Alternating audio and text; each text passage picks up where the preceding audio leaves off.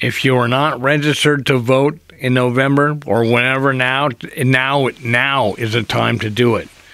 Register. It's easy. And vote Democrat.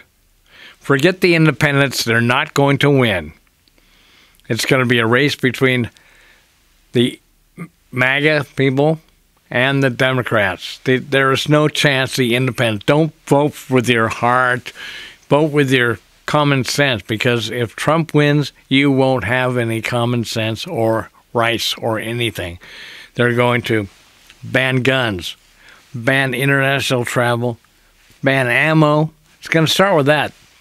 It's written in the document the uh, Project 2025. They don't want you to be armed. They don't want you to have guns. They're not telling you that. They're letting you. They're not really telling you anything. They're not making any promises. They're letting you do all the work. Hey, go Trump, go Trump. Yeah, you're you're you've been bamboozled by a guy in the shiny suit and the illusion of money.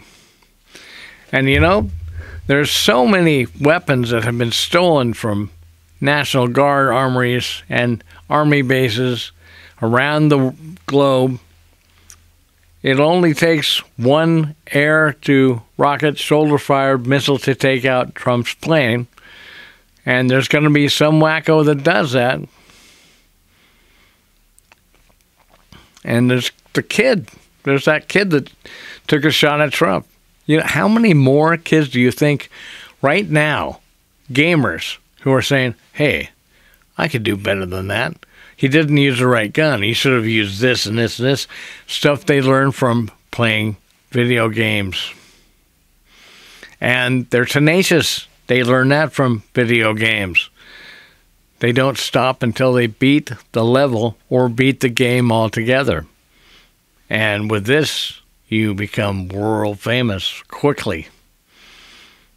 You live in you're you're the na- nation's hero. You know, much bigger than if you shoot up a school, where the kids are just innocent people, and some idiot wants to exercise his whatever. I I can't figure that one out. But uh, there's enough weapons in this country, and uh, Trump wants to take them away because he knows once he becomes president and changes laws, if he becomes that, people are going to want to do that every day to him. But you know, if you know somebody in prison, you know where to get machine guns and all kinds of weapons there are so many unmarked firearms in this country that are available to gang members, mafia members, criminals. It's only the righteous guys that go and buy them at the the gun store. And other countries are very happy to supply them and make the money. That's all I got to say about that one.